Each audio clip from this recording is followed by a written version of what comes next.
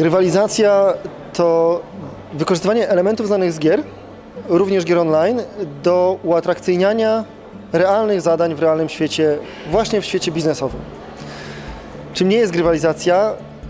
No właśnie nie jest tylko grą, nie jest też grą szkoleniową, na przykład symulacyjną. My chętnie w takiej grze się bawimy, ale wówczas przeżywamy coś w jakimś odrealnionym świecie, jakimś ćwiczeniu symulacyjnym i staramy się po zagraniu w tę grę wyciągnąć wnioski do świata realnego. Czyli wyjdziemy z sali szkoleniowej dopiero zaczniemy stosować te wnioski w świecie realnym.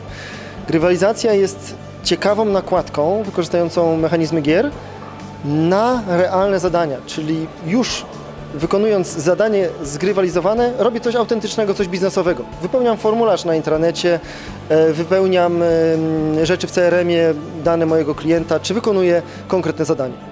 Ale ono jest zgrywalizowane, dodaliśmy fabułę, jest ciekawiej, jest żywiej.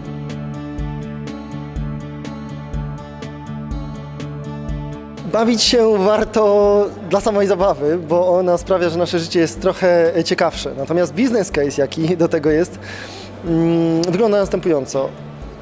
Jest wiele czynności w biznesie, które są postrzegane jako żmudne. Być może dla autora one są fascynujące. Takim typowym przykładem jest intranetowy portal wewnętrzny firmowy. Bardzo wiele osób z komunikacji wewnętrznej spala się, stara się zachęcić do korzystania, a jednak większość osób uważa, że to jest żmudne, że nie znajduje na to czasu. Podobnie będzie z wykorzystywaniem systemów typu CRM.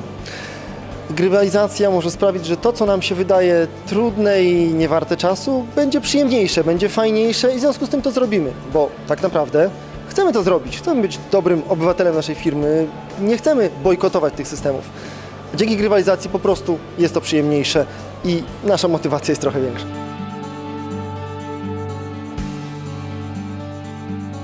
Przykładem grywalizacji może być na przykład portal LinkedIn, który do wielu czynności, do, do głębszego stosowania e, funkcjonalności tego portalu zachęca nas mechanizmami grywalizacyjnymi. Mamy procent wypełnienia naszego profilu, zachęca nas ten pasek postępu do tego, żeby wypełnić go w pełni. Są różne informacje zwrotne dotyczące tego, ile osób nas zarekomendowało, że warto kogoś innego zarekomendować. To są mechanizmy grywalizacyjne.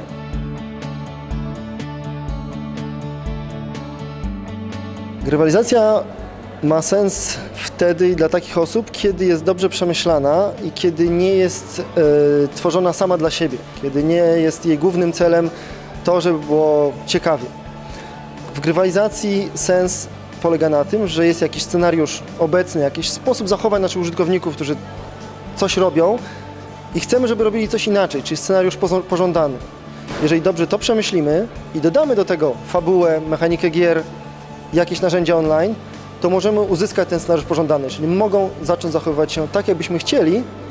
Zakładamy też, że oni też tego chcą, tylko nie starcza im siły, czasu, motywacji. Dzięki temu, że ich wkręcimy w grę, chętniej to zrobią. Ale założenie jest takie, że oni również muszą tego chcieć. Grywalizacja nie może służyć do manipulacji.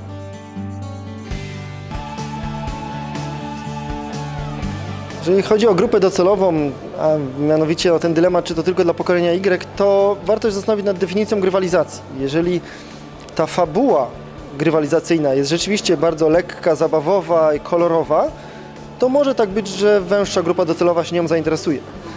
My w West Hillu rozumiemy grywalizację dużo szerzej.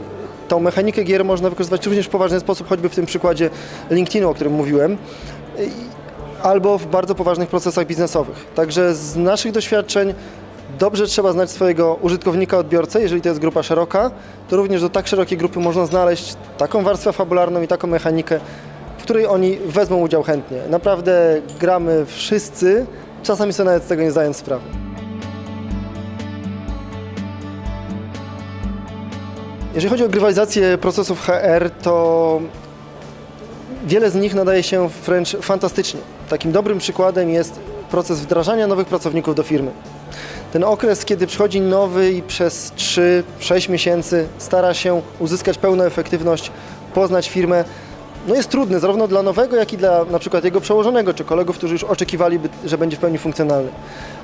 A to jest piękny przykład tego, jak można zamienić ten okres w misję, w jakąś ym, okres odkrywania firmy jako na przykład siedmiu kontynentów, jakiejś krainy tajemniczej, bo poszczególne działy, które chcielibyśmy, żeby nowy odwiedził, mogą być miejscem, gdzie są ukryte skarby. Nałożenie takiej nakładki nie tylko sprawia, że ten proces może być ciekawszy, ale przede wszystkim, może nawet paradoksalnie, może być bardziej uporządkowany. Bo podstawą dobrej zabawy są jasne reguły, jasny porządek, a właśnie proces onboardingu, proces wdrożenia pracowników najbardziej zyskuje wtedy, kiedy jest uporządkowany, kiedy jest jasny. Dlatego nakładając ciekawą warstwę fabularną, grywalizacyjną, równocześnie go porządkujemy, sprawiamy, że wszystkie strony, zarówno szef, jak i nowy, jak i jego koledzy y, czują, że postępujemy, widzimy ten pasek postępu, widzimy pasek wdrożenia i w którym momencie możemy powiedzieć, osiągnąłeś level 5, jesteś pełnoprawnym pracownikiem naszej firmy.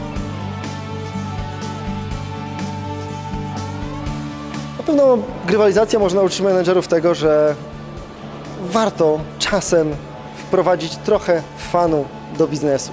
Że on naprawdę nam pomaga, że biznes stanowi dużą część naszego życia. Większość czasami dnia. Wprowadzenie do niego zabawy lub y, jakichś mechanizmów growych nie tylko nie przeszkadza, ale naprawdę może pomóc w bardzo wielu celach biznesowych. Warto zagłębić się w temat grywalizacji, zobaczyć na czym on polega, bo korzyści biznesowe mogą być bardzo konkretne, a grywalizacja nie musi być rozbudowaną platformą online. Może być bardzo prostymi technikami stosowanymi również bez wspomagania e, elementów online'owych czy elektronicznych.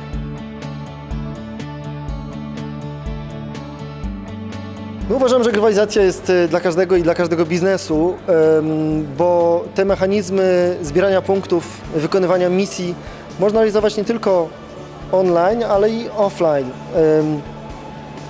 Dając komuś mapę skarbów i zachęcając do odwiedzenia poszczególnych działów firmy, aby tam te skarby odnalazł. Do tego nie potrzeba dużego biznesu, do tego potrzeba chwilę pomysłu. Równocześnie narzędzia online bardzo pomagają, szczególnie jeżeli jesteśmy firmą niekoniecznie bardzo dużą, ale rozproszoną.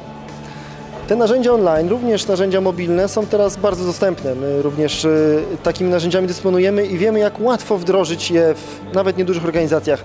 Także nie jest potrzebny duży budżet, potrzebna jest chęć zrobienia czegoś inaczej, ciekawiej, osiągnięcia dzięki temu dobrych e, celów biznesowych. No i przydaje się też ekspert.